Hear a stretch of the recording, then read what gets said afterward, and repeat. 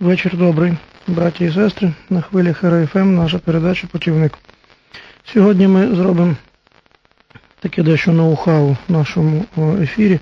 Ми дозволимо додзвони в першій половині передачі для того, щоб встигнути з більшою кількістю дозвонювачів поспілкуватися. Як ви пам'ятаєте, перші, е, перші наші передачі були з гостями, потім е, по вимогах радіослухачів ми відмовилися від цього для того, щоб більше спілкуватися. Ну і сьогодні зробимо так, щоб ми е, ще більш поспілкувалися, поки нам додадуть ефірного часу, щоб ви. Тобто ви можете дозвонитися до нас вже зараз. Наш телефон 8044 536 9600. Ну, а я вас повітаю з початком Різдвяного посту е, на, в той- час, поки ми чекаємо перших дзвінків. І е, вітаю вас з входженням в підготовку до цього посту. В католиків називається Адвент. Це слово з латини означає приготування, прихід, прихід верніше, і це приготування до приходу Господа. В одному із своїх листів е, Тихон Задонський писав одному священнику, з яким листувався, е, казав, що бажаю тобі відчути силу Христа, що в світ прийшов. Ось е, приготування до посту, власне, це є е, спрямоване на те, щоб відчути силу Христову, яка в світ прийшла, відчути, що ми не самі у всесвіті, що ми не загублені, що ми вічні, і увічнити нас і спасти нас приходить власне Господь. До цього треба готуватися. І ось ми вже маємо першу дозвонювача і готові з вами спілкуватися. Слава Ісусу Христу. Навіки слава. Е, дуже коротко. Е, отже, я хочу повернутися до однієї з наших попередніх е, передач, коли у вас був гість музикант, і ви казали про демонічність. Паганіні. Мені хочеться, я знаю, що ви людина, е, яка всім цікавиться. Можливо, колись до рук ваших потрапить е, книжечка Олексія Горохова. Це наш видатний е, скрипаль. Він був науковцем. Він написав прекрасні методичні рекомендації щодо виконання музики. Е, Паганіні він казав, що його виконують не так, як слід виконувати. Коли Тобто це Паганіні порада, це- брав, брав октаву, ви знаєте, то е, Олексій Горохов казав, що в його музиці бриніла жіноча е, сльоза. Але моє питання таке: скажіть, будь ласка, як співвідноситься віра і побожність, е, віра і, так би мовити, е, релігія, і чи потрібно е, додавати, яка саме віра, коли йдеться дискусія на цю тему? Дуже дякую. Ясно. Віра і побожність, віра і релігійність, безумовно, пов'язані, але разом з тим, якщо імена різні, то і вони відрізняються один від одного. Можна бути релігійною людиною і не мати віри. Існує таке явище е, досить болісне. Можна бути віруючою людиною, але віра може бути в такому зародку, що вона може бути дуже неконкретною, неоформленою і не кристалізованою. Коли людина сама не знає е, достеменно, в що вона вірить, і на пряме, е, на пряме питання розкажи мені про твою віру, людина вам конкретно не скаже. Предмет її віри настільки змитий, розмитий, злитий зі всіма решта предметами, предметами інших вір, що вона сама є в питанні, в що ж власне вона вірить. Люди бояться таких питань. Е, Тобто на вищих е, щаблях е, віра і релігійність мають зливатися, це має бути одне і те саме. Має бути віра в живого Бога, цілком конкретна, е, свідомо сприйнята людиною, яка має свої і внутрішні, і зовнішні форми. Коли йдуть суперечки про це, то ну, принаймні знати свою віру треба і ховати її, і соромитися її не слід. Не слід своїй мами соромитися, якщо навіть вона там, скажімо, в селі вас народила і виховала, а ви тепер в місті живете. Значить, якщо ваша віра така, ви називаєте, я християнин такої-то, такої-то конфесії, такої-то віросповідання, я православний, я особисто православний християнин. Якщо хтось говорить про себе, я християнин, скажімо там, католик, ну, значить там чи ще е, знати своє і не цуратися свого, це цілком природньо, цілком по-людськи. Е, І в цих супере, всіх, значить, е, розмовах про віру ми, ми повинні без образ взаємних е, докопуватися до істини. Значить, тому я би хотів, щоб наша віра і наша релігія одна одному не протирічила. За ремарку про Паганіні дякую. Маємо дзвінки і слухаємо вас. Добрий вечір. Добрий вечір. Е, Це з- Львівської області вас турбують. Я Так, хотів задати таке питання. Олександр мене звати. Е, Ну, воно мене особисто дуже турбує і хотів би відповіді почути. Значить, питання наступне. От мені доводилося чути, е, е, що е, от священники, які служать в православній церкві Московського патріархату, нібито вони говорять, що що благодать Духа Святого присутня тільки в храмах їхньої конфесії, а в іншої, інших е, храмах інших конфесій вона не присутня. І таким чином, якщо, наприклад, людина охрестилася в, у католицькій церкві чи в православній, але Київського патріархату чи автокефальної православній, то фактично нічого не відбулося. Вона так якби то хрещення, як, якби нечинне. І то, що вона приймає причастя там і спо- сповідь, зрозумів, це я зрозумів. нечинне. І, Я ну, зрозумів вас. правда, як- Я з вас зрозумів, так, тільки ми маємо ще питання, і е, щоб люди не чекали на телефоні, ми вислухаємо питання, а потім будемо е, про це говорити. Ми вас слухаємо, ви, в ефірі, кажіть. Алло, Так, е, добрий вечір. добре. Це Тернопіль Тарас дзвонить. Слухаю вас. Розумієте, мене таке питання інтересує. У мене так життя склалося, що я 4 роки майже не вставав з ліжка. І ну то так по вині медиків. І все цей час я читав Євангелію. А зараз розумієте, бо мої батьки постійно мене вчили. Там Отче наш, Богородице Діво. Ну, на Западній Україні в нас зараз, розумієте, так само. Я прекрасно розумію, так. Цей культ іменно Діви Марії ну, Євангелію читав руки, то там ніде не написано, щоб їй поклонятися, а люди Ясно. ви кажете, що кожен твої віри повинен тримати. Ясно, зрозумів. Добре, дякую. До- Добре, дякую. Отже, підемо по першому питанню перше. Е, На сьогоднішній день е, від, е, не від, не від вчорашнього дня, а від 11 століття між православною і католицькою церквою не існує євхаристійне спілкування. Це не значить, що ми вважаємо, що православні вважають католиків не християнами. Не значить. Це не значить, що православні не признають е, присутність благодаті е, абсолютно значить, в е, житті релігійному західних християн. В найбільш напруженому своєму положенні ці, слова можуть звучати по відношенню до розколу, який існує в недрах самого православ'я. Це стосується філаретівського розколу. І дійсно людина, якщо виступає за межі церкви, це вам і любий католик скаже, що якщо є в католицькій церкві розкол, і хтось виступає за межі там, його материнської церкви, то він втрачає зв'язок з церквою як такою і поволі втрачає благодать. Це стосується наразі філаретівської тої біди, і дійсно, якщо переступаються межі церкви, людина втрачає зв'язок з матір'ю церквою і сама від себе не священствує, тоді вже священник він здійснює форму таїнств, але Господь не насичує її змістом. Що стосується католиків, то євхаристійного спілкування в нас нема, тобто в нас нема сопричастя, ми не причащаємося на їхніх літургіях і не, не, не пускаємо до чаші їх до себе.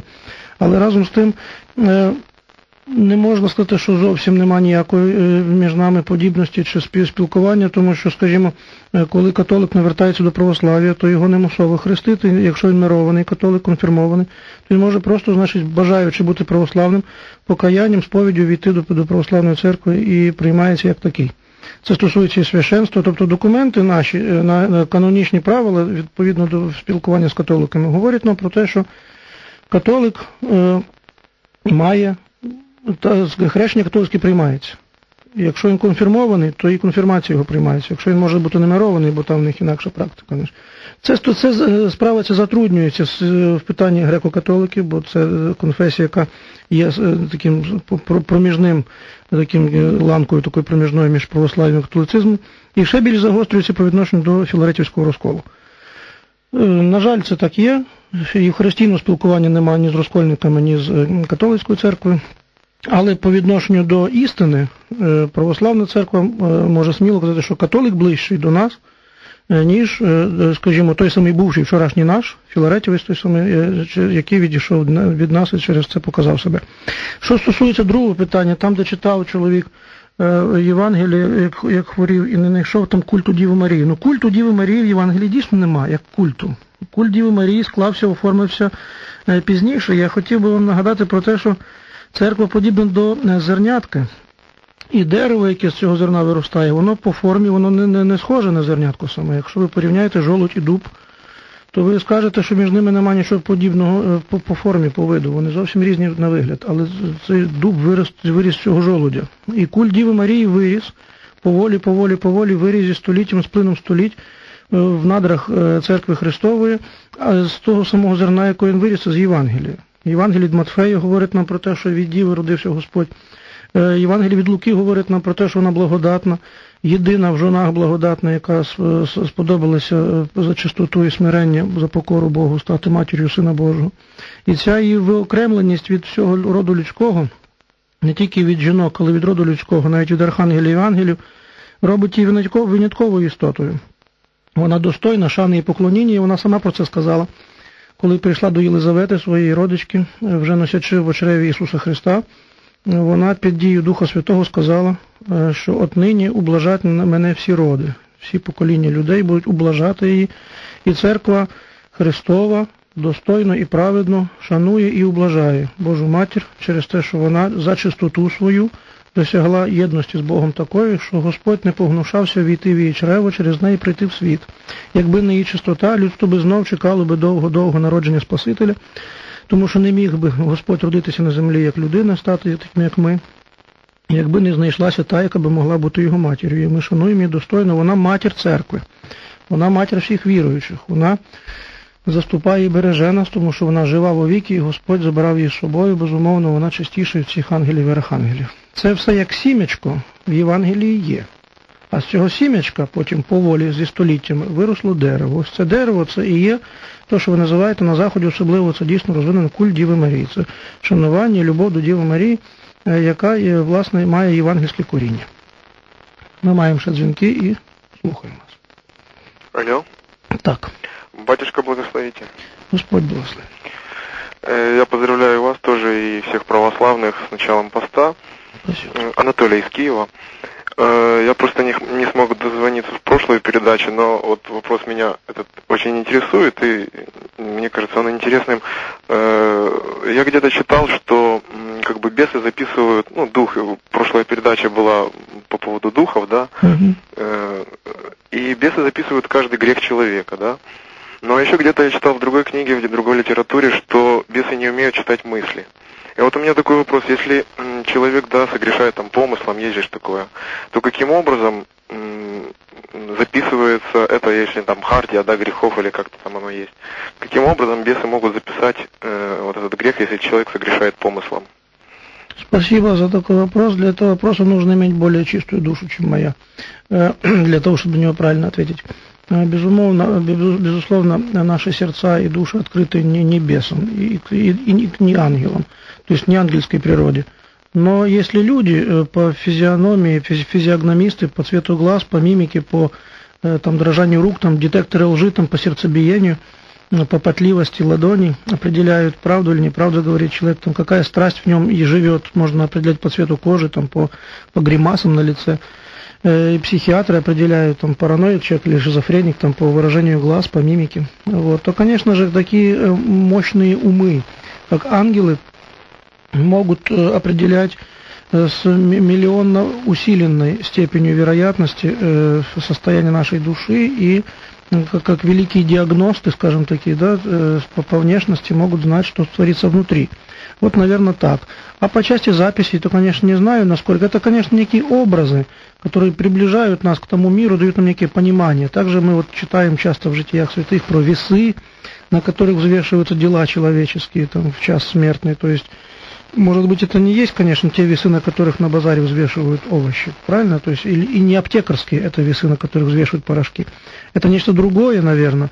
Может быть, это все лишь образ, дающий нам понять эту иную реальность. Поэтому я не думаю, что там у них есть такой канцелярский труд, у них есть некий такой записывание, механический труд записывания чего-то на чем-то на носителях, там, на бумаге там, или на чем-то. Я не думаю, что это так буквально. Наверняка речь идет о другом. Речь идет о каких-то духовных реальностях, которые вот таким вот языком э, можно вот как-то донести до нашего сознания. Э, и, э, конечно, они, к счастью, знают не все о нас. Знает о нас все только тот, кто нас сотворил. То есть Бог знает о нас все. К счастью, враг наш знает неизмеримо меньше. Но наблюдая нашу пету, а Писание говорит о том, что он как змей ползает по земле и э, блюдет, наблюдает пету человеческую, стопы человеческие, шаги человеческие, вот, то он, конечно, знает много о нас, как и мы бы с вами знали много о любом человеке, если бы мы наблюдали за ним от рождения до смерти каждую секунду. Именно этим занимается враг. Вот, поэтому э, некий такой как следопыт или, значит, как шпик, приставленный к человеку, он, конечно, много о нас знает. Мы маем, здається, ще дзвіночок і слухаємо. Алло, доброй ночи. Доброй ночи и вам. Вам всего хорошего и с э, Вопрос есть? нашим этим постом, да. Я вот лично отношусь э, и к Владимиру, и к Филарету одинаково. Они оба верующие, святые люди. Я не, мою, не пойму, почему вы Филарета так не, не очень, так сказать, ненавидите. Если вы помните историю, то Московская церковь э, сама 140 лет присвоила к себе, э, присоединила украинскую церковь, хотя нас крестил Владимир от Византии. И я не понимаю, почему вы считаете, что московская э, автокефалия лучше, чем византийская. Я, я, вас, я вас понял. Я вас понял, э, но Э, во-первых, я не сказал, что ненавижу Филарета, таких слов из моих уст не прозвучало. Я не, не, не, ос, не осмеливаю считать святым человека до, до, его, до его смерти и канонизации, то есть я не буду так смел, называя святым. Никто Филарета, если не назовут, э, это точно, а даже и, и Владимира Блаженнейшего, спасибо за уважение, безусловно, я его тоже святым не назову, при всем э, уважении не меньше, чем у вас. То есть святым, святой это Э, кто, кто свят, кто нет, это значит, будет ясно позже. Вот. А углубляться в историческую дискуссию, и, так мы запутаемся часто, значит, не зная того, что под носом пытаемся разобраться то, что было 500 лет назад. На сегодняшний день я имею счастье э, не, не копаться в истории, а и говорить не от себя. То есть я говорю о том, что сказала церковь. Будучи сыном, ребенком церкви, меня родившей, той самой церкви, которая родилась, пришла к нам из Византии, Э, будучи, имея незаслуженное счастье к ней принадлежать, я слушаю, что она скажет. А она сказала устами всех своих иерархов, самой Византии, кстати, тоже, то есть э, церкви Константинополя и всех остальных поместных церквей, она высказала свое отношение к Филарету. Это не есть частное мнение там, отца Андрея, сидящего по вечерам в студии РФМ. Я всего лишь один из многомиллионной паствы православной церкви. Э, церкви, которая находится и в Грузии, и Сербии, и Болгарии, и Америке, и в других, всех, Японии, на всех континентах. И она одними устами сказала, что Филарет Раскольник, ну что тут буду фантазировать. Раскольник, значит Раскольник. Значит, э, раз поступает неправильно, значит неправильно. Что я буду его выгораживать? Там я не, не, не, больше этого я ничего не говорю. То есть кто свят, кто не свят, Господь скажет. Потом мы все узнаем. Блаженнейший Владимир – это человек достойный всякого уважения. Это без сомнения. Вот, собственно, я и повторяю общие места, так сказать. Я повторяю общие места. Повторение – мать учения. Э, еще один звоночек у нас есть, и мы вас слухаем. Доброй ночи. Доброй ночи. Э, я много читаю Библию, вот и вы сейчас приводили насчет Матери Иисуса примеры, и сказали, что это Евангелие, это э, семя, то есть это евангельский образ. А много э, церквей есть, вот они называются полные Евангелия, есть баптистские, пятидесятнические, ну почему-то Да-да. православные и католические церкви называют э, такие христианские объединения сектами.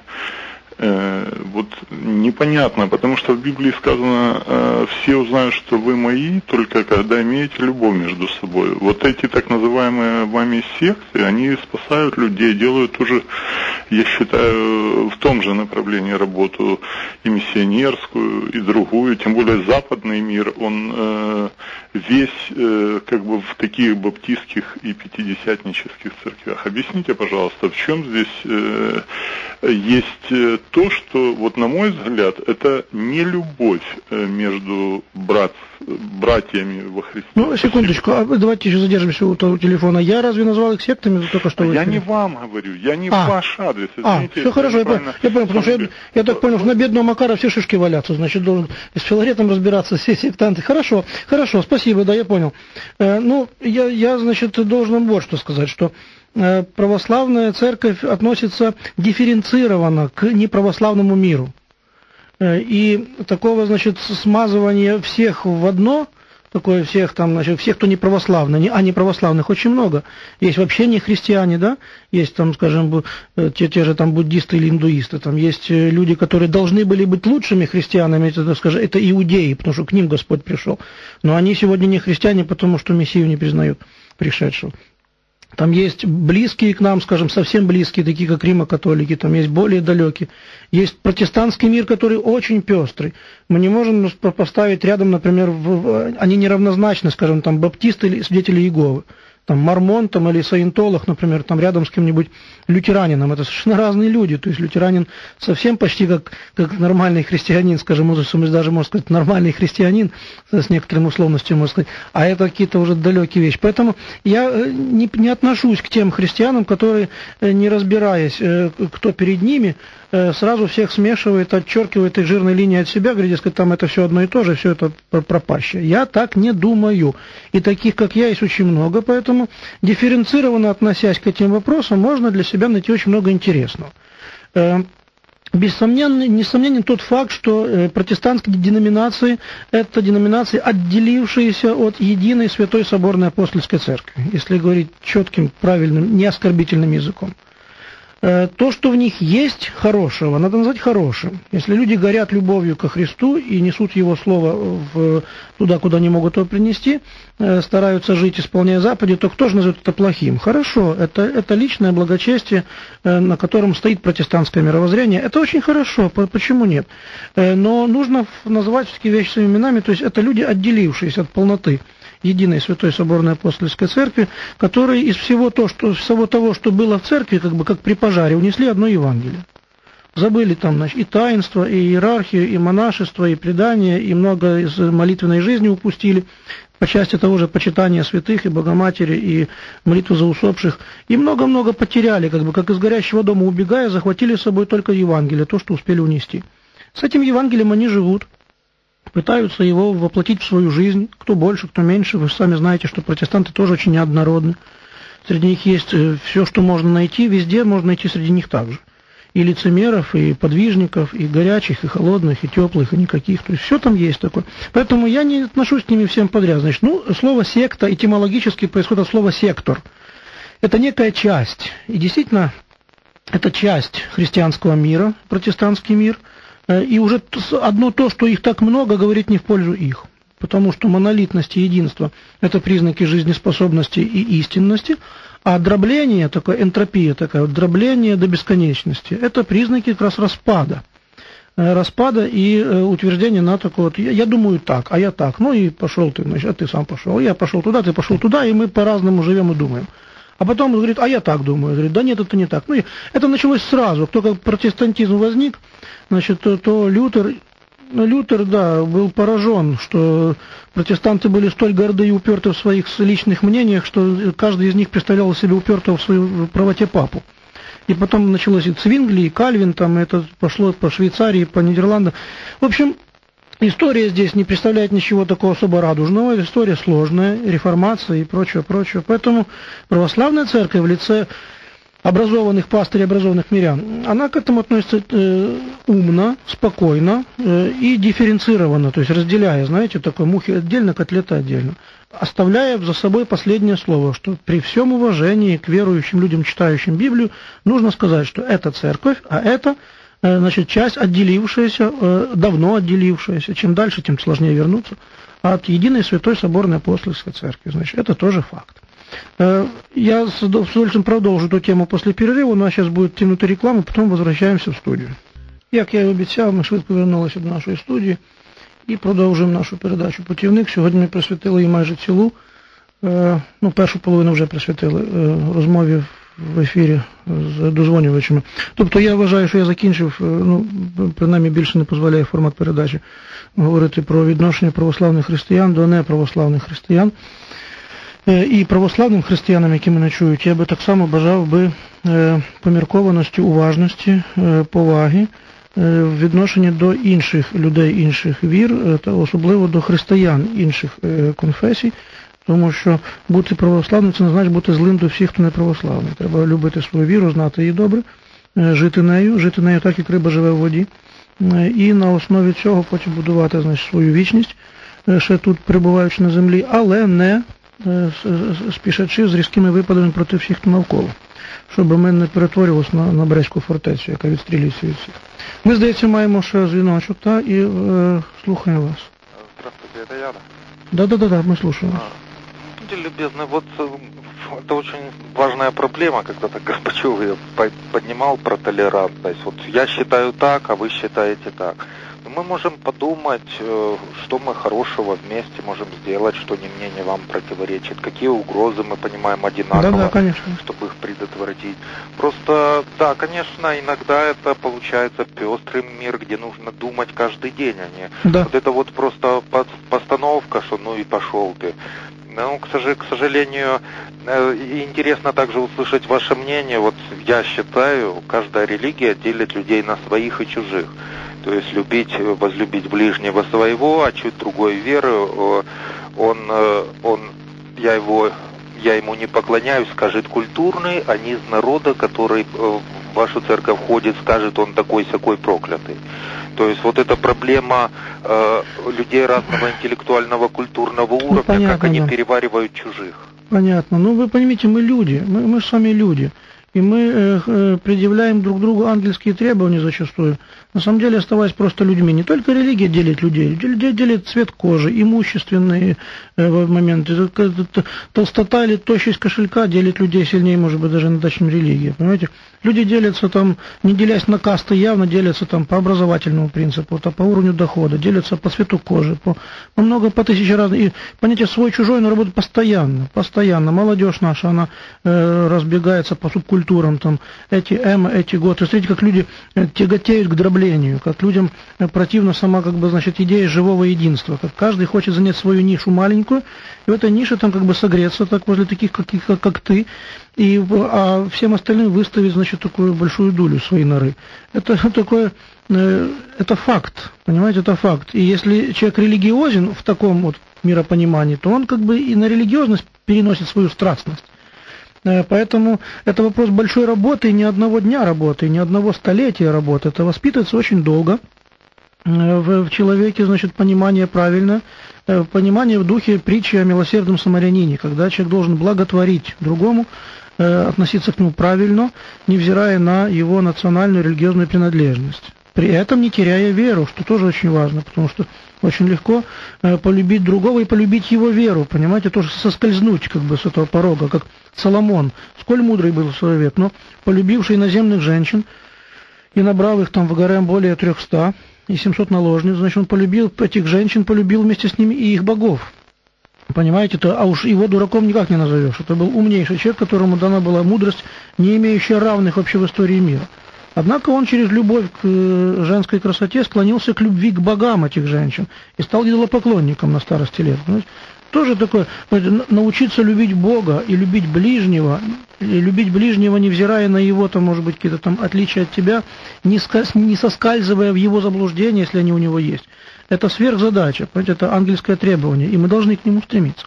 И я абсолютно с вами согласен, что мы можем, например, э, решать какие-то вопросы в части благотворительности, например, помогать бедным, неважно какой ты веры, неважно, как ты понимаешь догмат, там, скажем, Боговоплощения или догмат там, э, о, о, о Троице. Мы можем на, на время об этом не говорить. Мы можем помочь, ты и я вместе помочь там, значит, какому-то старику или старухе. Мы можем помочь там неродившемуся ребенку родиться, там, удержать маму от аборта. Мы можем подумать, что, что сделать тем э, людям, которые бездомные в зимний период, э, им угрожает смерть от замерзания. Вот такие вещи могут э, консолидировать людей, конкретное дело ради кого-то. И оно это, это я согласен абсолютно с вами. Значит, есть угрозы, против которых нужно выступать, и есть незаполненные ниши добрых дел, которые нужно заполнять. Вот в этом мы можем абсолютно верно натрудиться вместе. Тогда будет меньше времени оставаться на то, чтобы ссориться. Вот. Но это, конечно, все, вы понимаете, сверхзадача. То есть это, это довольно масштабная задача, требующая э, от человека э, большого благородства, э, большой искренней веры, настоящей веры, а не воскресной веры, такой, чтобы, согласно которой человек только в воскресенье верующий, а остальные дни он живет как хочет. Это, это вызов. Я бы хотел, чтобы в этом думали больше люди и на, вот, на этих точках горящих э, вокруг них собирались и грелись. Мы маємо ще дзвінки, так, і вас слухаємо. Добрий вечір. Добрий вечір. Е, я телефоную з Луганщини, мене звати Олена. У мене кілька запитань таких. От е, перше запитання таке, чи правда це, ну може воно не дуже серйозне, але таке запитання, чи правда це, що православна церква е, негативно ставиться до того, що жінки проколюють вуха і носять сережки? І якщо це так, тобто чи з чим це пов'язано, чи не пов'язано це з тим, що раніше е, невільникам проколювали вуха, що це якось признак рабства чи щось такого. От, перше запитання. Друге запитання, е, ви розповідали про те, що немає євхаристійного спілкування у православних і католиків, а мене цікавить от стосовно протестантів. Якщо, наприклад, людина охрещена була у протестантів, а потім прийшла до православної церкви, чи потрібно їй приймати Ясно, хрещення да. Да, і третє. Угу, да, добре, і третє. І третє, я просто хотіла б сказати, що от ви сказали, що протестанти, наче під час пожежі, е, захопили собою одне Євангеліє. Так я б хотіла е, звернути вашу увагу на те, що як правило, коли людина під час якогось стихійного лиха іде з дому, вона бере з собою найцінніше і найнеобхідніше. І мені здається, що все, що є е, у в нашій, з усього цього Євангелія, це якраз є найцінніше і найнеобхідніше. І от дуже шкода, що якраз у православній церкві за оцими всіми обрядами, е, требами, ритуалами, бізнесом, там, як сказали, монашеством, за цим усім часто дуже просто навіть важко е, Христа роздивитися і роздивитися якісь євангельські цінності. Е, ну, почнемо тоді з ближчого. Е, Там е, кульчики, то е, по, по степені серйозності най, най, най, найостаннє запитання, найостаннє запитання. Дійсно, Євангелія забрати під час пожежі з хати це саме головне. Тільки я би ще додав до Євангелія ще євхаристійну чашу, тому що чашу в пожежі протестанти забули. Власне, євхаристійного єднання між православною церквою і протестантами нема через те, що в них немає Євхаристії. Протестант, протестантському середовищі немає літургійного як такого життя, і все життя їхнє зводиться до проповіді читання Слова Божого, співання псалмів і гімнів, і благотворності за межами церковних е, е, парафій. Е, Тому Євхаристії як такої там немає, і відповідно немає Євхаристійного з ними єднання. Забирати з собою треба чашу, чашу і Євангеліє. Євангеліє і чашу. Ну, те, що ми не бачимо за, за різноманіттям обрядів Спасителя, може мати об'єктивну і суб'єктивну сторону. Е, По-перше, є люди, які в принципі не здатні бачити за деревами лісу, е, які не вміють вирізняти одне від другого і бачити велике за малим. Можна взагалі е, долонею закрити сонце від себе, і тоді долоня буде винуватна, що вона закрила світило. Є суб'єктивні речі, є об'єктивні речі. Є священники, які може не дбають про проповідь Євангелія. Е, Є там, ну, скажімо, якісь там ще, може, такі е, забубонні речі, які досталися внаслідок в спадок від, від виховання в сім'ї. Може, ще якісь накручені, одне на одне накручується, тут не без того. Е, Але це все стосується окремих випадків і окремих е, е, значить, ситуацій. А в принципі, то в православній церкві немає ні одного обряду, про який ви так несхвально відгукнулися, який би не мав не місце в собі як частину, як, як обов'язкову складову читання Божого Слова. Обов'язково псалом, обов'язково апостол, обов'язково Євангеліє. Щось з послань, щось з Євангелія, щось з царя Давида. Нема ні одної треби, де би не читалося Євангеліє. Якщо ми цього не чуємо, то я не знаю, хто нам заклав вуха. Ну, а що стосується, е, да, е, якщо протестант навертається до, до православної церкви, то класичним протестантом взагалі ми вважаємо англікан, лютеран. Англікани і лютерани це класичне протестантство. Все, що далі пішло, пресвітеріани, баптисти, там анабаптисти і так далі, тому подібне, е, квакери, значить, п'ятдесятники, значить, це все протестанти від протестантів. Це люди, які це громади, які відділилися вже від протестантизму, не від католицизму там, чи від православ'я. Вони це вже відділені е, шматки, від, які відпадали, відколювалися, від, від, відсмикувалися вже від самого протестантизму. Тобто протестантизм сам по природі це дріблене явище. Воно дробиться і чим далі, тим більше буде дробитися. Воно ніколи не зупиниться. Е, тому яка людина, яка там прийняла водне хрещення, вона має бути хрещена в православній церкві, миропомазана. Е, Вважайте, що протестант на сьогодні, хороший протестант на сьогоднішній день це людина, яка пройшла хорошу катехетичну школу. Вона більш-менш добре розбирається в Святому Письмі, знає заповіді, вона є розчулена совість, вона хоче жити по совісті, по закону Господньому, вона спрямує волю на творення добрих діл, але все це можна вважати катехетичною школою, тою школою, яку колись називали оглашенням. От сьогодні, на жаль, ми не маємо школи як такої оглашення. Ми не оглашаємо людей під час довгого терміну. А протестанти, займаючись цим, по суті, готують е, майбутню пасту православним церквам. І цей процес е, досить могутній вже на Заході.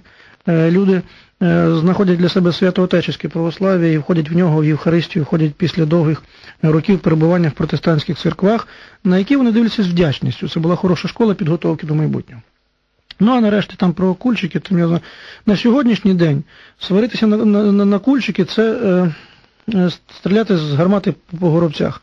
Е, на сьогодні варто, наприклад, сваритися з пірсингом і е, татуажем, тому що ось це дійсно е, рабські звичаї, тюремні звичаї обколювати своє тіло малюнками, та й пряма є заборона в книгах Святого Письма, є в книгах чисел, второзаконня говориться прямо, що не роби ніяких малюнків на тілі своєму, не роби ніяких надрізів на тілі своєму. Порівняно з тим, як сьогодні спаскуджені тіла мільйонів людей малюнками, татуажем, е, пірсингом, тими всіми ж булавками, тими шариками, які по, по, по всьому тілі. Кульчики сьогоднішні це просто дитяча забавка. Так як взагалі деякі вчорашні гріхи, які здавалися дуже великими, на сьогоднішній день взагалі зникають, вони бліднуть е, в світлі сьогоднішніх гріхів. Якщо в 19 столітті хтось з проповідників міг сказати, люди, ви що здуріли, ви пішли в театр в неділю, а в церкву не пішли, пішли в театр, то сьогодні проповідник часом може казати, люди, та ви в житті в театрі не були, ви що взагалі, що ви робите, як ви живете? Ви ні разу книжку не відкрили ніяку. Крім газети там чи якоїсь там кросворда якогось. Ви в театрі навіть ні разу не було. Розумієте? Акценти міняються. Сьогодні взагалі не варто сваритися на, на дрібниці. Сьогодні варто звертати увагу на фундаментальні серйозні речі, від відсутності яких просто можна зникнути завтра.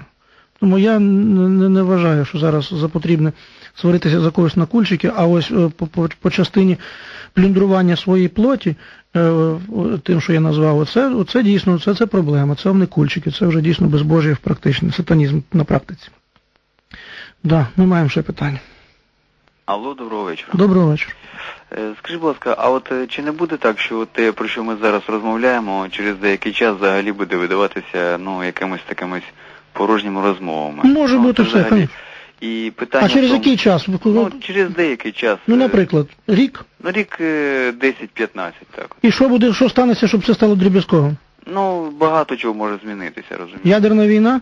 Ну і таке може бути. Ну, я не за це хотів би спитати. Просто я е, хотів би дещо звернутися на те, як, в принципі, так звана Московська православна церква, церква е, сприйняла е, як наслідування, чи як це зветься, Візантія, Київ, а тоді от якимось чином зник цей патріархат з Києва, і він якось якимось чином Я зрозумів. І, і ще питання. Просто от мені здається, що от та сама православна церква, я не буду акцентувати Київська та чи Московська, це просто є магазин, і де все робиться за гроші. Просто абсолютно все. І ви самі розумієте, про що я кажу, хрестики, там запечатать, за там те, те, те, те, те, і всі ці процедури коштують великих грошей.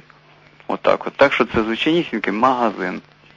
Е, я тільки не розумію тоді з е, вашого обурення на, на е, по відношенню до там Київського патріархату, там, значить, чи цього там переносу там кафедри з Києва до Москви. Тоді вам, то яка різниця, якщо для вас церква магазин? Не бачу ніякої логіки, значить тоді дзвонити. Треба почати з другої частини бути послідовним, тоді залишити взагалі всякі розмови про патріархати, там про те, про все, тому що вас ніяк не стосується. Для вас церква магазин, це ви сказали. Е, ці слова, повірте, вже горять на вашому лобі. Я вас е, запевняю на 350%, е, що в силу вашої близорукості ви до сих пір бачили тільки магазини. Може, ви і вмрете не побачите нічого, крім магазинів. Але я вас запевняю на, на ще на більшу кількість процентів, що крім того, що ви бачили, є те, що не бачили. Може ви це побачите, дай Боже, тоді ви розкаєтеся в тих словах, які ви сказали сьогодні. Е, якщо ви не побачите цього, ну що ж, значить так пройде ваше життя. Е, тоді при такому, при такій постановці питання немає ніякої, ніякого змісту піднімати більш е, глибокі питання там про історію, про те, як як текла ріка історії і де вибирала собі русло. Тому з вами я про це говорити ніяк не маю ніякого бажання. Щодо магазину, то я бажаю всім, браті і сестри. Е, знайти е, в своєму житті, а може воно під носом у вас. От тільки людина гірше все гірше всього знає те, що в неї під крилом, те, що в неї за спиною чи, чи з боку за метр. Знайти недалеко від себе, напевно, воно є коло вас, е, церкву в її первозданному справжньому вимірі. Не, не магазин релігійних послуг, а церква Бога Живого, столпу утвердження істини. невісту Христову. Дай Бог, щоб кожен з вас її знайшов. Бо інакше життя ваше не буде мати ніякого змісту. І дійсно тоді для вас не тільки через 15 років, а вже сьогодні нема про що з вами говорити. Я слухаю ще питання. Алло, Так, так. алло, Да, да, да. Э, батюшка, благословите. Говорите быстрее, Бог благословит. Да, э, э, э, скажите, пожалуйста, вот такой вопрос. Э, Вот там э, э, раздают просфоры в церкви. Э, И есть молитва на вкушение этой просфоры. А вот если человек дает э, просфоры, говорит, э, значит, это запомин э, души такого-то, э, а как же тогда э, читать молитву? Ну Это как? один вопрос. Да, ну, ну, И- а второй вопрос. Вот у апостола Павлова есть, значит, Павла есть э, такое, э, не раздражайте детей своих. Мгм. Объясните, пожалуйста, вот э, что значит не раздражать, что им, ну, замечания Я понял. не- нельзя делать? Я понял, да, хорошо, спасибо. Второй вопрос важнее. Просфора – это священный хлеб, из которого вынимаются части на литургии. И над просфорой, которая была в поминании за усопшего того или другого христианина, можно читать ту же молитву, которую читаете над любой другой просфорой. То есть перекрестились, съели просфорочку, как святой хлеб, э, и пу- пусть будет вам во здравие души и тела. Что касается э, слова апостола Павла, да, есть такие слова в Писании. Отцы, не раздражайте чад своих, детей своих, не будьте к ним суровы. Э, То есть э, слова эти сказаны в том мире, э, в том э, эллинском мире, греко-римском мире, том классическом мире, в котором отец э, немыслим был без воспитания. То есть в том мире человек, имея детей, э, неусыпно бодрствовал над ними, по крайней мере, это было чаще, чем во все остальные эпохи. Э, Он мог э, не только бить, а зачастую распоряжаться полностью жизнью и здоровьем своего ребенка, если ребенок выпадал из послушания. И поэтому эта строгость и это э, такая докучливое попечение о детках своих, да, то есть э, оно могло переходить через край. И поэтому апостол Павел э, советует э, покрывать любовью воспитание и не употреблять слишком много строгости, потому что классическое воспитание предполагает и розгу, и, и все остальное. Вот, то есть ну, с юности накажешь ребенка розгой, он не умрет, но душу спасешь его и себя об- обеспечалишь на старости. Так что он советует, значит, э, не, не быть чрезмерно суровым к детям и детям своим, и поэтому не раздражать их, вот, может быть, чрезмерностью э, своих отеческих попечений. Тому родителю, который вообще детьми не занимается, ему нужно говорить каждое, каждое утро, э, с, утра, как отче наш, занимайся детьми своими, думай о детях, то есть думай, что они, что они едят, что они читают, с кем дружат вообще, что смотрят, о чем думают, то есть думай о детях, в конце концов. Это нужно одним говорить. А другим, которые вдохнуть им не дают, надо говорить, не раздражайте чат своих, не будьте к ним суровы. То есть нужно знать, что кому сказать. Е, Ми ще маємо питання, і спішіть, будь ласка, бо в нас вже закін- закінчується ефірний час. Е, Доброго вечора. Добрий вечір. Е, Отець Андрій, мене мені дуже боляче слухати сьогоднішню передачу, тому що ми християни і ми якось в якомусь розколі зараз, в якихось розногласіях, скажемо. Е, Ісус Христос в 17, в 17 розділі від Євангелія, Євангелія від Іоанна сказав, що ми були єдині. Це його повеління, скажемо, да? Ми вас, я християнка євангельської віри, я вас вітаю, я люблю ваші передачі. І я вдячна Богу за ці передачі. В нас свої доморощені священники, як ви скажемо, да, українські. Але благодарення Богу за тих, хто е, за кордону приїжджав і навчав нас Слову Божому, тому що країна була 70 років в занепаді, не було е, чути Слово Божє. І тому зараз тільки моя молитва. І я хочу, щоб і ваше серце порадувалось просто. Будемо ми єдині. Як Христос заповідав нам. Дякую. Я тільки, хо- я тільки хочу сказати, що е, е, русло передачі формується запитаннями на сьогоднішній день. Тобто е, я радий говорити про те, що не ділить, а те, що єднає. Е, Але якщо питання задаються в такому дусі, то я нікуди не втечу, я мушу говорити про те, що воно є. Е, Що ж тут зробиш? Тут е, взяв, назвався груздям, полізай в кузов. Так що я то радий говорити про, про Христа і про Його благодаті, про Його Слово, про вічне життя. Отже, ми сьогодні прощаємося, браті і сестри, а ви ще запишіть собі телефончик ще один, 8050 411 63 51, зараз я повторюю його. Це перед телефон начальників нашої передачі. В нас виникають проблеми і складності, і може не бути скоро. Хто хотів би допомогти, щоб передача ця продовжилася і надалі виходила в ефір, запишіть цей телефон 8050 411 63 51. 8050 411 63 51. Це телефон наших е, начальників, е, з якими треба зв'язуватися для того, щоб вони сказали, що треба зробити, щоб передача надалі була е, в ефірі. Воскреслий Христос, да сохранить нас всякого зла. До зустрічі. Вечір добрий всім, браті і сестри, хто сьогодні долучився до нас вперше. Най, най, найбільше поздоровлення всім тим, хто вперше е, включився в нашу співбесіду таку в ефірі. Е, і ми е, ведемо розмову про важливі речі, про розумне, добре і вічне.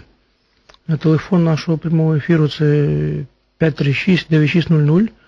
В другій частині передачі ми будемо приймати ваші дзвінки. А сьогодні, по-перше, я хочу сказати про те, що помер Олексій, патріарх Московської Русі. І всі, хто має віру, хто має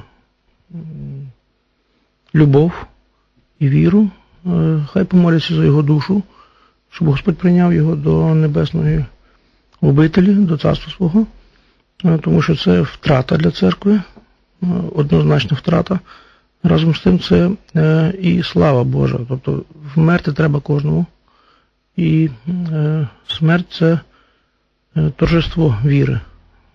Е, війти в, смер... в область смерті з вірою, значить, означає е, бути віруючим до кінця. Я вірю, що Олексій, патріарх святійший, е, за якого ми молимося завжди, що він війшов в цю область смерті з вірою в Христа, і що він в Христі знайшов для себе Царство Небесне. Дай Бог, щоб йому було добре. І прошу всіх, хто має любов і віру, за нього помолитися. Ну, а ми з вами поведемо мову про е, введення в храм. 4 ну, числа, е, буквально значить, недавно ми відсвяткували е, праздник введення в храм Божої Матері. І через те ми можемо вести мову про храм як такий.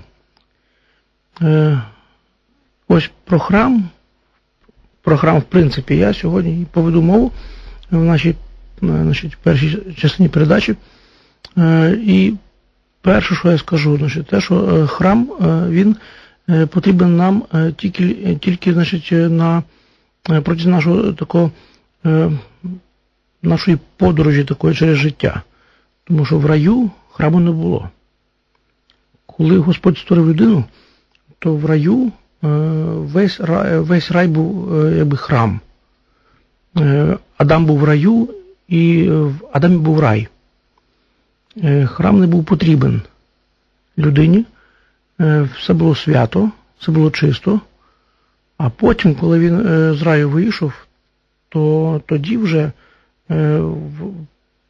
потреба з'явилася в тому, щоб очистити якесь місце для Божого поклоніння, для молитви. Наша земля осквернилася кров'ю, осквернилася потом і сльозами вона просякнута цим.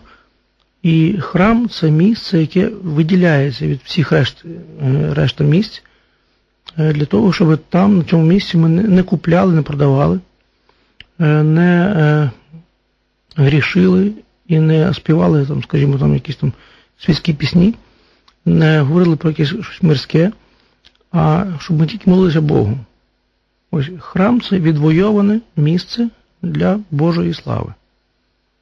Храм потрібен нам сьогодні для того, щоб ми е, насадилися якби, е, в храмі, як рослина, і потім пересадилися з храму Царство Боже. Храм це е, така теплиця, в якій ми вирощуємося для майбутнього світу. Довгий час для Бога не було місця на землі і не було храму для нього. Е, до потопу храму не було. Коли Ной е, спас людство е, від потопу ну, в своїй особі, і діти його, і жінки його дітей, вісім вісім душ взагалі спаслося в потопі, то до, до цього храму не було. Потім вони вийшли з ковчега, і перші місця, де вони молилися Богу, це були такі прості місця, де вони робили жертвенники, е, каміння складали е, горкою такою, і там робили жертву Богу. І це були такі особливі місця, такі Божого поклоніння такого, але ще не було храму. Потім е, довгий час е, люди відзначали якісь такі місця Божої присутності через жертвенники, але не через храм. І тільки через е, Соломона Господь зробив перший храм собі. На цей час вже в Єгипті, в Індії, там, в інших місцях вже були храми е, бісам, іншим богам, богам з маленької букви. Е, і вони, значить, е, ці храми до сьогоднішнього стоять. Якщо ми поїдемо в Індію чи в Єгипет, ми побачимо там піраміди, там різні пагоди. І це все ті храми, які стояли ще давно, давно-давно. А Богу храму не було. І ось тільки перший, хто захотів побудувати храм Божий, е, такий міцний, твердий е, Богу живому, це Давид. Він подумав в серці своєму, що я живу в палатах, е, мій дім міцний, твердий, красивий, а Господь мій живе в палатці. Тому що перший храм був в палатці, така, така скінія. Скінія така переносна, така, такий, ну я знаю, що такий накшал, такий, якби ну, палатка. Ось. І от Давид захотів зробити Богу храм. Красивий, е, прикрашений, такий, як він бачив е, серед інших народів, е, тільки не для бісів, не для ложних богів, а для Бога живого. Він захотів цей храм збудувати. Але Бог йому сказав, що ти не збудуєш мені храм, тому що ти воював все життя і твої руки в крові, і храм збудує мені твій син, Соломон. І ось тільки Соломон збудував перший храм Богу істинному. До цього часу було багато храмів в різних країнах, в різних місцях, е, фальшивим богам, не богам, в принципі, а бісам. І е, ці храми до сьогоднішнього дня стоять. Тільки з Соломона, починаючи, е, збудований був храм Богу живому і істинному. Красивий, просторий, е, для того, щоб там були жертви, молитва. Це був дім молитви. І цей храм стояв довгий час, аж доки він не був зруйнований е, під час нашестя на євреїв Вавилонського царя Навуходоносора. Той прийшов і зруйнував Ізраїль, підкорив його собі і зруйнував храм. Євреї пішли в полон і там жили довгий час, а потім вернулися. І перше, що вони зробили після повернення свого значить, в Ізраїль, вони знов поновили храмове життя. Вони знов відбудували храм. Причому будували його дуже довго, 46 років. Будували храм другий на тому самому місці. І там почали знову приносити ще жертви. Взагалі вся Тора, весь закон, він прив'язаний до храму. Сьогоднішні євреї не можуть виконувати майже весь закон, тому що не мають храму і священників не мають. Вони можуть тільки читати закон молитися, але всі жертви, всі обряди е, неможливі без храму, а храму нема. І храм єврейський може бути тільки в одному місці, тільки там, де він був колись. На сьогоднішній день на місці Божого храму, бувшого колись, е, стоїть мечеть. Е, мечеть Омара. І євреї воюють з арабами довгий час, воюють і будуть воювати далі для того, щоб вигнати їх геть е, з Єрусалиму і відбудувати храм. Е, це така окрема тема. Е, в цьому храмі, очевидно, буде Антихрист коронуватися і приймати славу від людей, від євреїв, від, від цього людства. Але на сьогоднішній день храму нема. Нема жертв, нема обрядів, нема тих всіх речей, про які пишеться в книзі Левит, числа, второзаконні. Нема цього всього.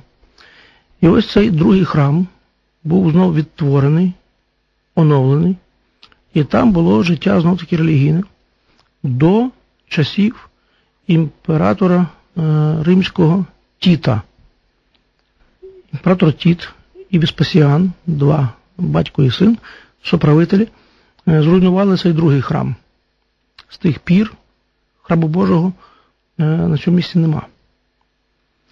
Але е, Христос при житті казав, що хто хоче йому значить, служити духом і істиною, той може служити йому на всякому місці. Є така в Євангелії Іоанна бесіда Христа з Самарянкою Фатінією, мученицею майбутньою Фатінією Самарянкою, де він їй каже, що жено, віру мені і мій, вір мені, що істинні поклони, поклонники Богу будуть йому служити духом і істиною на всякому місці. І ось на сьогоднішній день ми вже не, не прив'язані до місця. Якщо колись євреї були прив'язані до одного місця, до Єрусалиму, до храму Божого, то сьогодні християни е, можуть бути вільними від е, поклоніння в одному місці, і на на всякому місці можна Богу служити. І так ми і робимо, в принципі. Сьогодні весь світ засіяний е, церквами для того, щоб Євангеліє читалося, для того, щоб люди каялися, молилися, Бога славили, вчилися жити правильно. І ми живемо в часи благодаті, коли не один храм тільки може бути на, на землі, як колись, в старі часи, а е, на всякому місці можна служити Богу істиною і духом. І е, ми будуємо наші храми земні в різних місцях, і в, в Україні, в Росії, там, не знаю, там, в Америці, там, в Індонезії, всюди, е, щоб ми значить, в цих місцях поклоніння. Е, слухали е, Боже Слово і служили Господу духом і істиною. Але все це так само якби тимчасове, тому що е, потім, в кінці кінців, храм так само не буде потрібен. Врешті-решт, пишеться в Откровенні Яна Богослова, що він бачив майбутнє життя, Небесний Єрусалим, і там нема храму. В майбутньому житті храму так само нема. Як ти було його раніше не було його в раю, е, так само не буде його в майбутньому. Е, він каже там, значить, в Апокаліпсисі, що, е, значить, що храму я не бачив там. І не бачив там, навіть сонця не бачив там і і місяця. Але е, світильник для майбутнього е, Єрусалима це агнець, Господь. Він просвішає всіх благодаттю своєю, і, і там немає храму. Тобто, на на початку історії людської не було храму. І в кінці його знову не буде. Храм потрібен нам тільки тут, зараз, поки ми подорожуємо, поки ми е, звершуємо свій шлях від землі до неба. Нам потрібен храм. Причому храм нам, нам потрібен е, в основному як місце для Євхаристії. Е, що таке храм? Це не місце, де свічки ставлять, е, де співають панихиди де, скажімо, там якісь молебні правлять. Е, храм це місце е, в першу чергу для служіння Євхаристії, для благодарення, для жертви безкровної, для таїнства тіла і крові Христа, для причастя. Е, і ось ці храми наші, їх є безліч, їх дуже багато по всьому світі. Вони потрібні нам для того, щоб ми молилися в них і в них спасалися і звершували своє вдосконалення, очищення, і без храму ми сьогодні жити не можемо. Але в майбутньому е, нам храм не буде потрібен. Потім вже в Царстві Небесному е, храму такого не буде. Е, і Євангеліє говорить нам про те, що ми маємо бути самі храм. Людина має бути сама церквою, храмом, як пише апостол Павло е, в посланні до Коринфян, е, що храм Божий святий, і цей храм є ви, і хто храм Божий розтлить, того Бог покарає. Храм це людина, храм Божества. І найбільшим храмом, взагалі, найсвятішим храмом є Божа Матір. Вона зі всіх людей змогла бути настільки чистою, настільки покірною Богу, настільки смиренною, що Господь не погнушався в неї вселитися, і жив в ній, і воплотився від неї, і став від неї людиною, чоловіком, вочоловічився. І вона є храм, живий храм живого Бога. Ось це є, в принципі, мета нашого життя. Для того, щоб бути храмом, вона довгий час жила при храмі, тому що неможливо стати храмом, не живучи при храмі.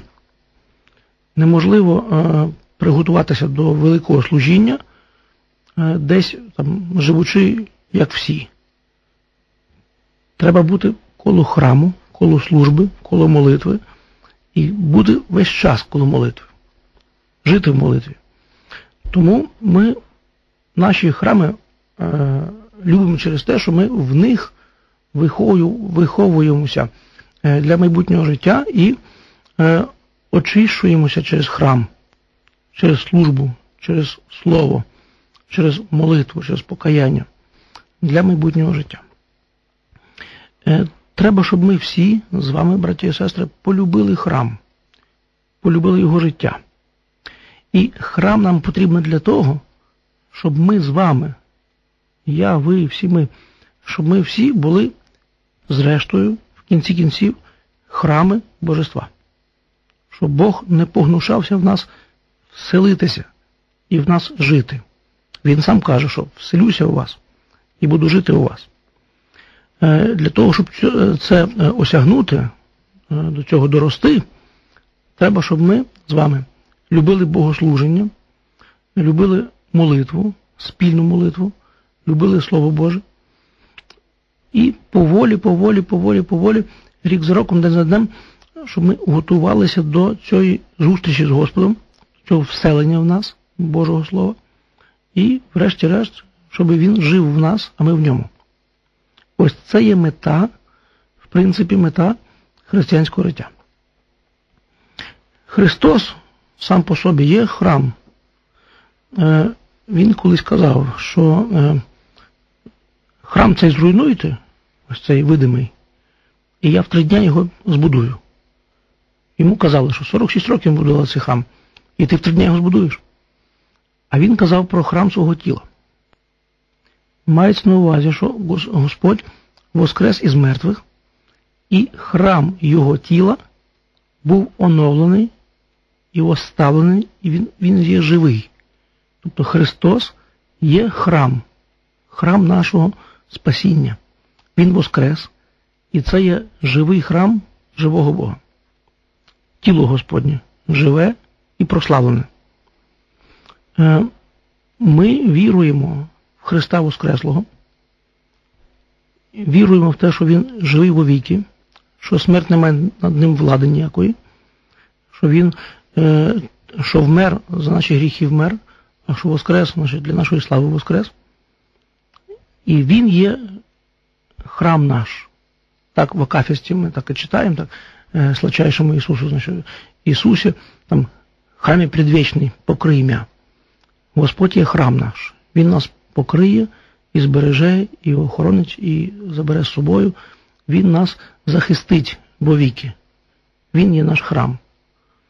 І ми з вами, так само повторюю, е, маємо до того прагнути, щоб ми були живим храмом для Бога. Е, ось ці змісти, ці смисли, ці ідеї заложені в празднику введення в храм. Божа матір була введена в храм маленькою дівчинкою. Е, про це не пише Євангеліє, про це говорить нам предання. І ми віруємо в те, що Божа Матір була по обіту, по обітниці, е, мамою своєю Анною, віддана на служіння Богу. В три роки, як завжди в євреїв, віднімали від грудей дитину. Е, вона переставала їсти е, материнське молоко, і можна було вже, як більш так до дорослої відноситися до неї, в цей час можна було віддати дитину в храм Божий для служіння. В цей час Божу матір віддали е, в храм для виховання. Е, передання церковне говорить про те, що вона, Матір Божа, е, пішла в храм з такою радістю, ніби вона забула взагалі про батька і матір. Побігла до архієрея, е, забувши про Іоакіма і Анну, про батька і матір, і ввійшла в храм, і архієрей взяв її, цю отруковицю, і вона виховувалася при храмі. Довгий час, принаймні десь, може, 11 чи може більше років до віку Боговоплощення, Матір Божа жила при храмі весь час. Вона мала тільки три заняття: читала, молилася і працювала. Шила. Там, Вишивала, там, скажімо, робила таке щось, значить, таке, якби, таку роботу таку жіночу таку, при храмі Божому. Вона чердувала ці заняття святі. Читала, трудилася, молилася. Молилася, трудилася, читала. І в цьому занятті, в цих трьох заняттях, перебувала весь час. Це, в принципі, урок і для нас, тому що ми маємо весь час бути зайнятими цими трьома речами: робота, молитва і е, ну, роздуми про Бога, читання святих книг і богомислі. Е, зрештою, вже будучи при храмі, тоді вона отримала це благовістя від Гавриїла, коли він прийшов до неї і сказав, що радуйся благодатно, Господь з тобою, е, і вона зачала Сина Божого. І ось, святкуючи цей праздник, ми маємо е, новими очима подивитися на наші храми сьогоднішні. Вони, по-перше, мають бути повні коли храми пусті, то це є якась така кара Божа. таке, взагалі, ну, не знаю, нема нічого страшнішого, ніж пусті храми. Колись е, в фільмі е, Андрія Тарковського е, Андрій Рубльов, там є такий момент, коли в храмі йде сніг. Коли значить, купол зняли з храму і пішов сніг, і в храмі так сніг падає. І Андрій е, говорить, що сніг пішов. Каже, странно, е, в храмі сніг іде.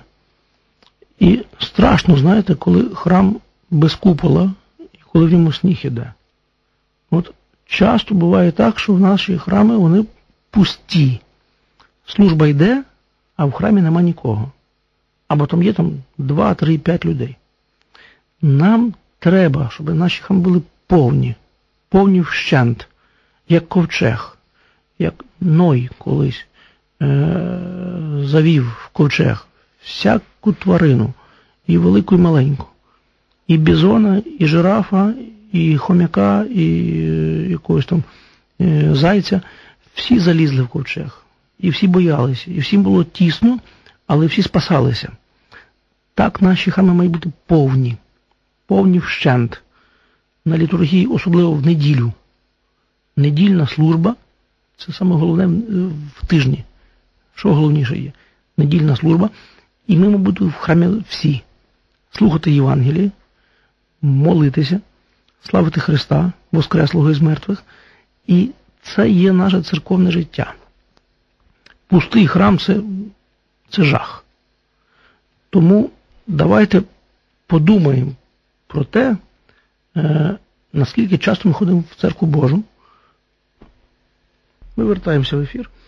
Прямий наш телефон 536-9600. Е, е, і сьогодні ми говоримо про храм. Про храм через те, що недавно 4 числа, 4 грудня, є праздник введення в храм Божої Матері. І я хотів говорити і говорив про те, що ми маємо любити храм Божий як місце свого виховання, свого приготування до майбутнього життя. І цей наш е, такий е, теплиця наша така, значить, як е, пишеться в псалмах, насаждення в дому Господньому, во дворях Бога нашого процвітуть. Тобто, як в теплиці ми е, вирощуємося і потім пересаджуємося в живу землю, вже в майбутнє е, царство Господнє, в майбутній вік, е, через храм. Без храму е, складно а може навіть і неможливо виховатися і е, приготуватися до майбутнього життя. Храм потрібен нам на протязі земного життя, хоча на початку його не було і в кінці його не буде. І там, і там храму нема. Ні в раю, ні в Царстві Небесному. Тільки на землі. Але поки земля стоїть, поки сонце над нами світить, поки е, ми крутимося навколо сонця е, з землею разом, е, все має бути так. Храм потрібен. Аж потім, коли земля і діла її згорять в вогні Божого посіщення, Божого пришестя, аж тоді хіба храм не буде потрібен, тоді буде видно, чи ми є власним храмом, чи ми стали храмом чи ні. І ми маємо бути храмом вже сьогодні. Маємо цього прагнути, до цього спрямовувати свої зусилля. Ось для цього ми і живемо, щоб ми з вами, я і ви, були Домом Божим, щоб Бог жив в нас. Дай Боже, щоб так було. Ну, не сьогодні, безумовно, ми сьогодні не готові для цього. Але з часом, з часом, щоб ми приготувалися до цього, і він не погнушався в нас вселитися. Увійшов в нас і жив в нас назавжди. Ось це наше, власне, зміст нашого життя, цього земного. Ну, а ми маємо дзвіночок, вже дозвонювач у нас є, і ми слухаємо ваш, вашу репліку там чи питання, значить, там подивимося. що. Слава Ісусу Христу! Слава навіки! Отче Андрію, з любов'ю до вас Микола Миколаївич Нельга, художник. І таке запитання. Чому гроші роблять з людини робота? Чому техногенна дія, перш за все, чому нехтують порадами Господа нашого Батька Ісуса Христа, Отець Бога Всевишній, в раю, в храмі, колесо, а потім і машину не пропонував.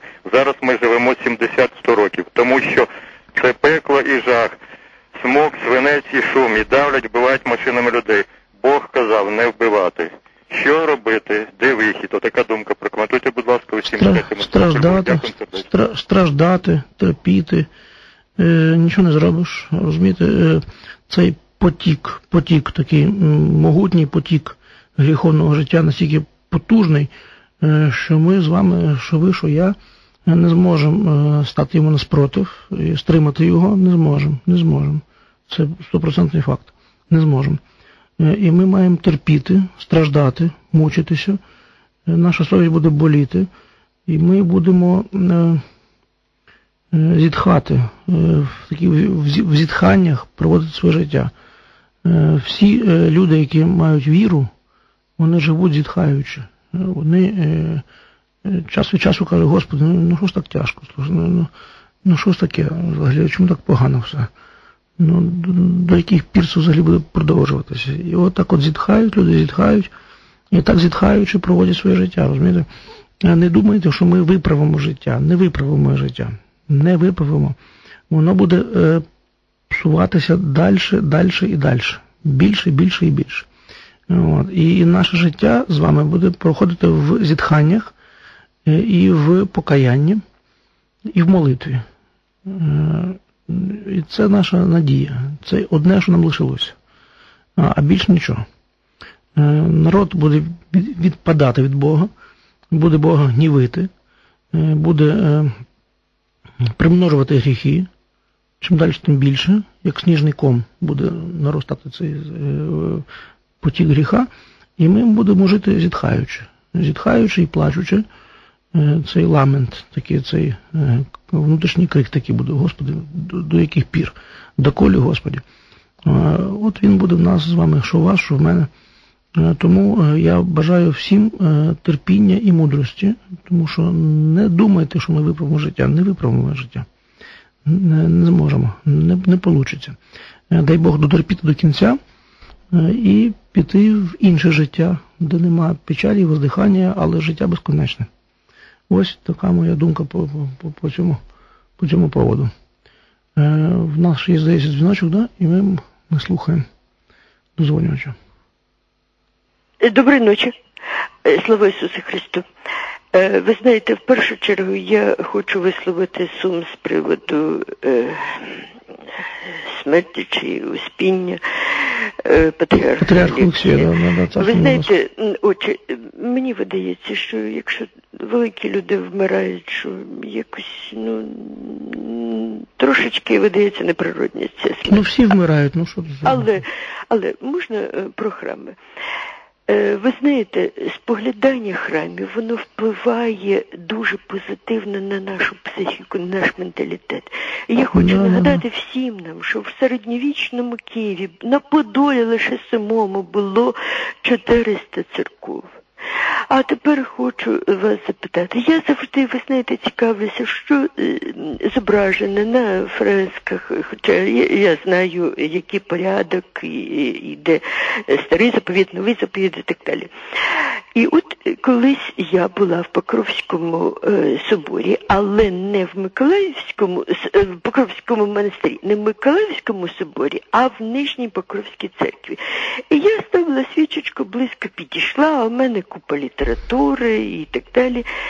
І е, підійшла до мене е, черниця одна, і вона мене запитала, чи я, не є екстрасенсом.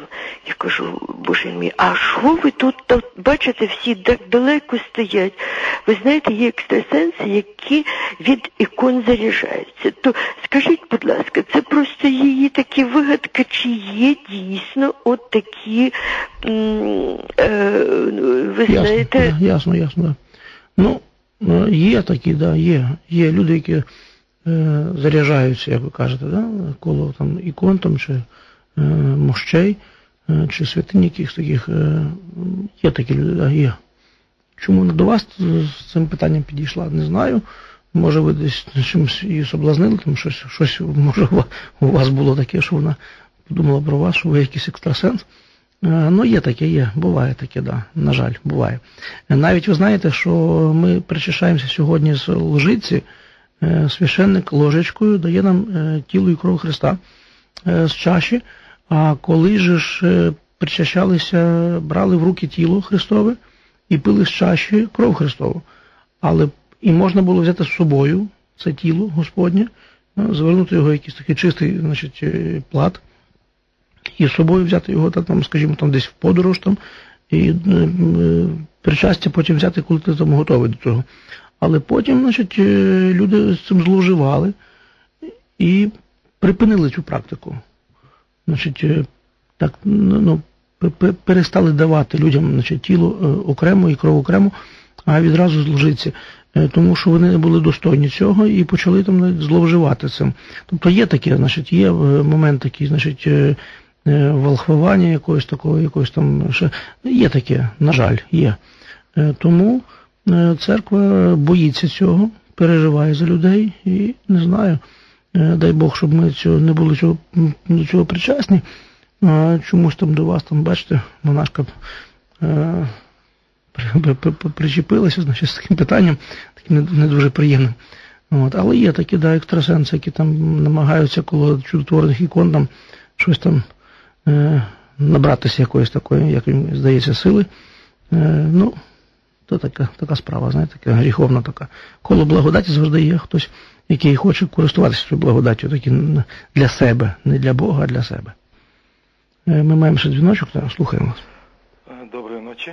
Здравствуйте. Мир вам. Спасибо. Олександр Київ. Таке питання. Ви знаєте, дуже уважно вас слухаю. От, але я також е, уважно читаю Слово Боже. Мені, мені подобається читати новий е, заповіт Євангелія. От, і е, слухаючи вас, виходить півслова старого заповіту, півслова з нового. Ну, а інакше не буває. Ні, то справа в тому, що в новому заповіті слово храм в сенсі будова зустрічається один єдиний раз, коли Ісус сказав, я розрушу цей храм і на його місці в три дні побудую новий. Ні, ні. Ну, чому тільки раз? Чому тільки раз? А, а А Господь всіх коли... інших зустрічається, ви храм Бога живого. Чи ви не знаєте, що ви храм? Правильно, правильно. Євангелій каже, що ви храм, кожна людина є храмом. абсолютно вірно. Але разом з тим Господь же ж приходив в храм, сам Господь приходив в храм і молився в храмі, і ходив в храмі, і в притворах храму Соломонового е, проповідував, і відвідував храм. Тобто храм лишався храмом, і це була святиня. Е, Для християн так само, почитайте діяння апостолів. Е, Храм стояв, і апостоли, значить, після Воскресіння Господнього приходили в храм так само. Вони по домах робили значить, Євхаристію, е, збиралися, значить, а разом з тим вони в храм приходили, значить, як всі решта євреї. Тобто храм є храм, розумієте, храм є святий безвідносно до значить, е, яких наших там думок. Ми, ми маємо бути храмом, да, це головне. Але храм є храм. І храм є святий, і храм має бути освячений благодаттю і має бути місцем зібрання нашого на молитву. І це було і в апостолів так само. Вони любили храм, і були там, і Яков, брат Божий, і Іоанн, е, син Зівідєєв. Е, всі вони, значить, всі всі апостоли, взагалі, вони по Воскресінні Господньому були в храмі. Вони весь час були в храмі. Храм був святинею. Тому тому ми не можемо заперечувати одне через друге. Тобто, я я згоден з вами, що ми це храм, так, принципі, в ідеї, в перспективі. Я і ви це храм майбутній, дай Бог, що ми були храмом. Але храм сам по собі святий. Святі його камні, святі, е, е, святе місце, де храм, то сам взагалі Єрусалимський храм, це ж місце, де там, де Авраам приносив жертву Ісака, там же храм побудували. Це ж саме місце, яке велике, розумієте? Там, де була безкровна жертва перша. Там, де Авраам пішов значить, на цю велику жертву, значить, коли хотів сина принести по, по, по Слову Божому е, Богу. Значить, Тому і храм святий, і ми маємо освячуватися. І, і не робіть протиріччя між цим. І те, і те має місце однаково. Ми ще маємо дзвіночок, слухаємо. Доброї ночі. Здравствуйте. Шановний отче, я зараз хочу сказати і зарані якби прошу звільнення за це, що буду говорити, але от я послухала, як ви давали відповідь одному дозвонючу. І разів скільки повторили, що от ми повинні страждати, страждати, страждати. Дуже тяжко жити, так сказати, у безнадійності і страждати. Я все очікувала, що ви будете говорити, в кінці скажете, що а, допомагайте друг другу. Отак, бо я два роки ось бути, як я вдовою стала, мені дуже тяжко і горію. Але я собі таке взяла життєве кредо. Ви, ви де живете? В Києві. Але я взяла собі таке життєве кредо. Алло. Далі слухаю вас. Що ми в цей світ приходимо такі на страждання, бо життя вона просто. Ну а як? Ну страждань, страждань більше. То наша задача полегшити друг другу ці страждання. Згоден, згоден, так, згоден. І я на кожному кроці стараюся допомогти комусь щось. Правильно. Розумієте? Правильно. І кажу Правильно. собі, що мені погано, але комусь ще гірше. Абсолютно вірно. Ну, пробачте, що не так сказав. Та нема нічого такого, нема що пробачатися, тому що ви правильно говорите. Е, я розумієте, я не можу за наш е, короткий час е, все сказати. Я говорю речі, якісь такі, ну, щось говорю, а щось не можу встигнути сказати. І, через те дійсно. Е, той казав, значить, дозвонював, що, значить, е, що життя таке, значить, тяжке, тяжке, тяжке. Е, І не буде легше. І будемо жити, і буде тяжче. І врешті треба буде померти. І це страшно. І дуже відповідально це буде все. От. Але це одна сторона життя. А ви кажете про другу сторону життя. Так, треба допомагати друг другу. Треба, е, як е, значить, е, той ніс е, Сімон Кірінєйський, значить, Господній хрест під, на голову піднімав, значить, треба нам підставити плече під чужий хрест. Треба, да, і ви, ви вдова, ви розумієте це більше як, хтось.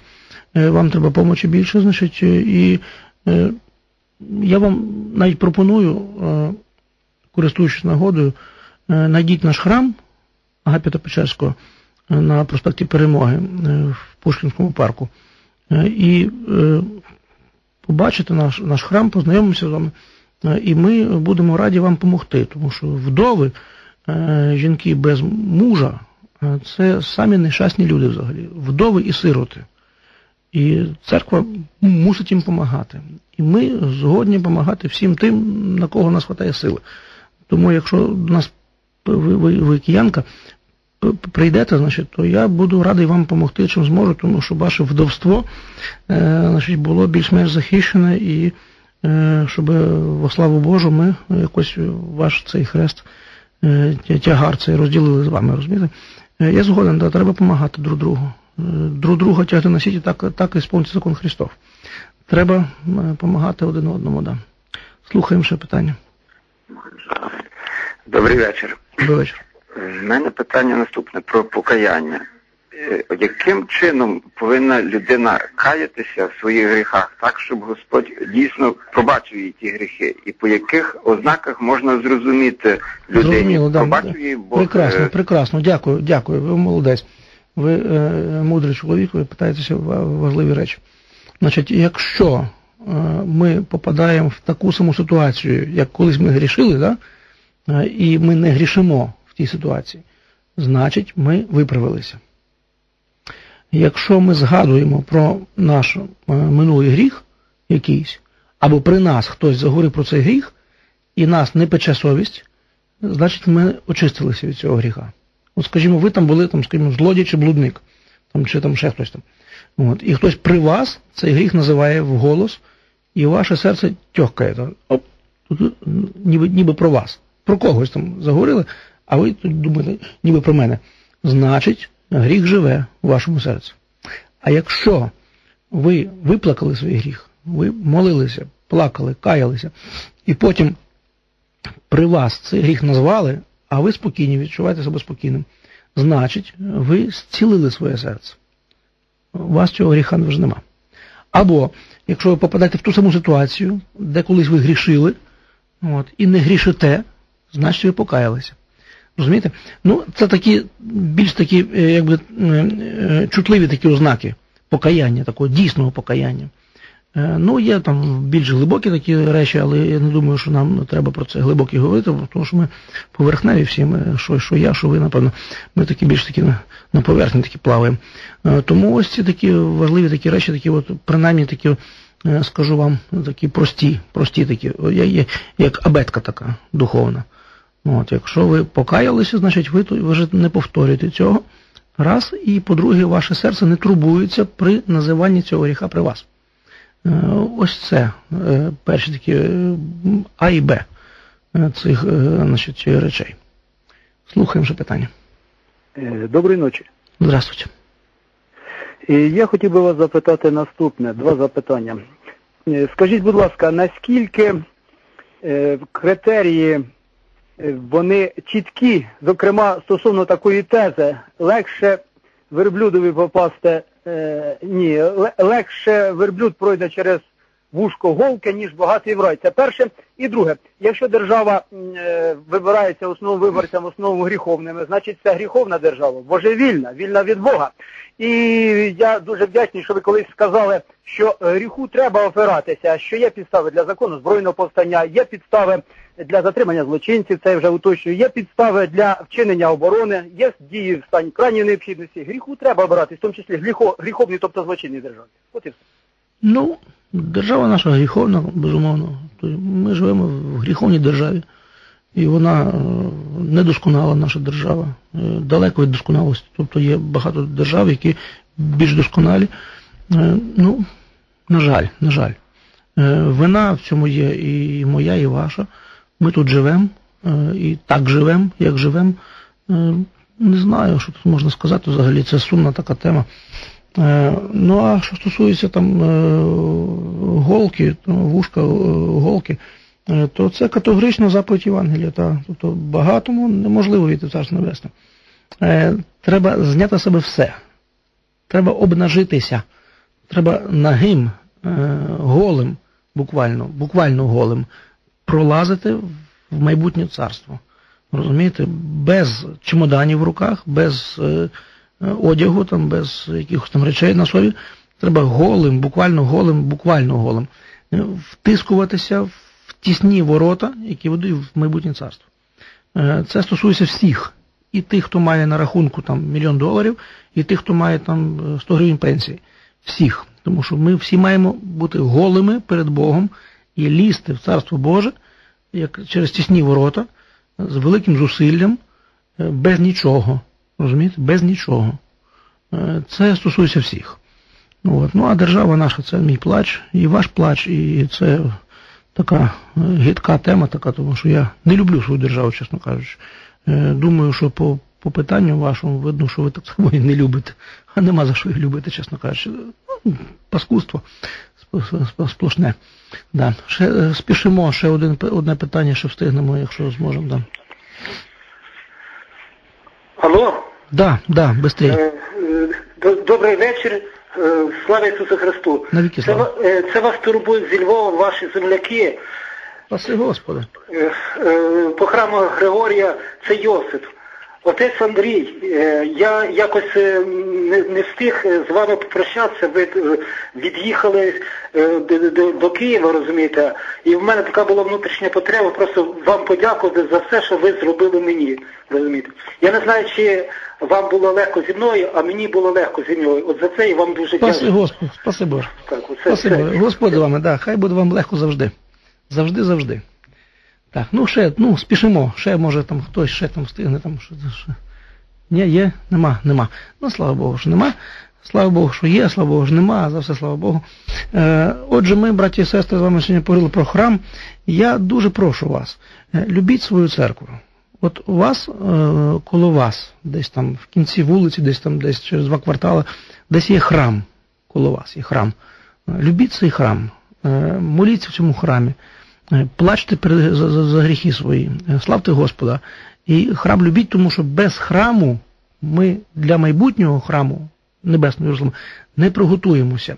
Ми не зможемо е, очиститися і набратися розуму і святості, якщо не будемо е, раби Божі і не будемо люди богослужіння, не будемо любити службу Божу.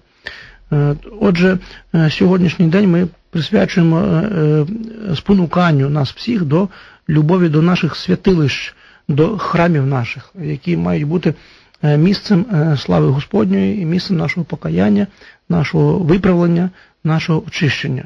Ось це головна така е, ідея, яка сьогодні перед нашими очима є.